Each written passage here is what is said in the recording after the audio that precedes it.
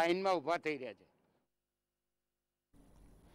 મહત્વપૂર્ણ સમાચાર અત્યારે સામે આવી રહ્યા છે કે જ્યાં ભારત સરકાર અને ડીઆરડીઓના સહયોગથી ગુજરાત સરકારની અભૂતપૂર્વ પહેલ શરૂ કરવામાં આવી છે. અમદાવાદમાં યુનિવર્સિટી કન્વેન્શન સેન્ટરમાં નવસો બેડની સુવિધા કોવિડ કેર હોસ્પિટલ ઊભી કરાશે. ઓક્સિજનની સુવિધા સાથે હોસ્પિટલમાં એકસો જેટલા બેડને આઈસીયુ પણ હશે. તો મહત્વનું છે કે વધતા જતા કેસોને ધ્યાનમાં રાખીને ભારત સરકાર અને ડીઆરડીઓના સહયોગથી ગુજરાત સરકારની અભૂતપૂર્વ પહેલ શરૂ કરવામાં આવી રહી છે. આ અંગે વધુ માહિતી સાથે, વધુ વિગત સાથે મારી સાથે મારા સંવાદદાતા કમલ પરમાર જોડાઈ ચૂક્યા છે.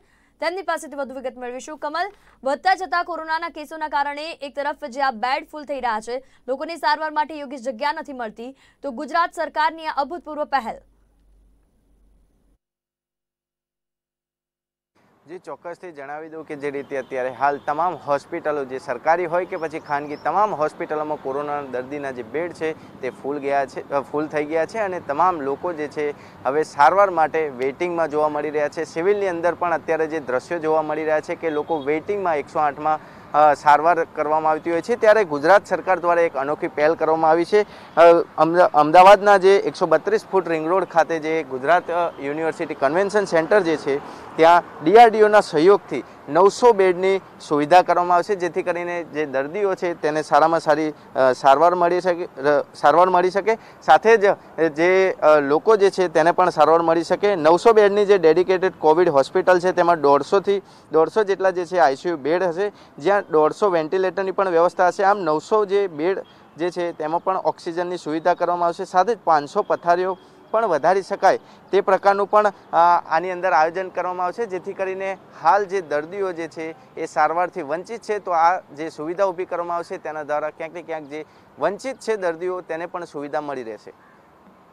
ચોક્કસ, કમલ, તો આનાથી જે અમદાવાદના લોકો છે ને, આસપાસના જે વિસ્તારના લોકો કે જે સારવાર માટે આવી રહ્યા છે, તેમને રાહત મળશે અને તંત્રની એક તરફની ચિંતા ઓછી થઈ પણ નવસો બેડની સાથે પણ એવું કહેવાઈ રહ્યું છે, કમલ, કે જો જરૂર પડે, તો જગ્યા એવી છે કે વધારે બેડની સેવા પણ તાત્કાલિક ધોરણે ઉપલબ્ધ થઈ જશે? જે, ચોક્કસથી હાલ અત્યારે જે નવસો બેડની વાત કરવામાં આવી છે અને નવસો બેડ અહીંયા ઊભા કરવામાં આવશે સાથે જ તેની અંદર જે દોઢસો બેડ છે તેમાં વેન્ટિલેટરની પણ વ્યવસ્થા કરવામાં આવશે. જો સ્થિતિ હજી વધુ પ્રમાણમાં વણસશે તો અહીંયા વધુ પાંચસો બેડ ઊભા કરી શકાય તેવી પણ વ્યવસ્થા કરવામાં આવી છે, જેથી તમામ દર્દીઓને જે છે સારામાં સારી સુવિધા મળી શકે.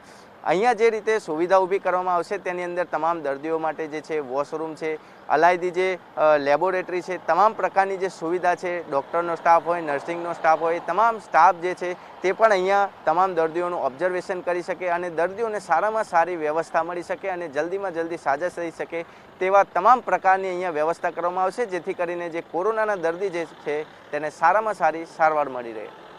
કમલ, કેટલા સમયમાં હોસ્પિટલ કાર્યરત થશે અને કેટલા સમયમાં લોકો અહીં સારવાર માટે જઈ શકશે અથવા તેની તેનો લાભ ઉઠાવી શકશે? જે ચોક્કસથી ગઈકાલે જે રીતે નિર્ણય કરવામાં આવ્યો હતો અને તે નિર્ણયમાં પણ જાણવામાં આવ્યું હતું કે અંદાજે બે અઠવાડિયા જેટલા સમયમાં જે છે, આ અહીંયા સ્પેશિયલ કોવિડ કેર સેન્ટર જે છે એ શરૂઆત કરવામાં આવશે અને આ જે સેન્ટર છે તેમાં નવસો બેડની વ્યવસ્થા કરવામાં આવશે, જેથી નવસો જેટલા દર્દીઓ જે છે તેને સારવાર મળી શકશે. જો વધારે પ્રમાણમાં હજી કેસો વધશે, તો અહીંયા પાંચસો બેડ વધારી શકાય તેવી પણ અહીંયા વ્યવસ્થા કરાઈ છે. બસ કમલ સમગ્ર માહિતી સાથે આપ અમારી સાથે જોડાયા તે બદલ આપનો આભાર. તો લગભગ બે અઠવાડિયા જેટલા સમય બાદ નવસો વધુ બેડ જે છે તે અમદાવાદના લોકોને તેના આસપાસના લોકોને મળી જશે. એટલે ચોક્કસ વધતી જતી પરિસ્થિતિની અંદર ક્યાં સારવાર લેવી, બેડ મળશે કે નહીં, આ બધા પ્રશ્નો પર હવે સરકાર કામ કરી રહી છે. ભારત સરકાર અને ડીઆરડીઓના સહયોગથી ગુજરાત સરકારની આ ભૂતપૂર્વ પહેલ.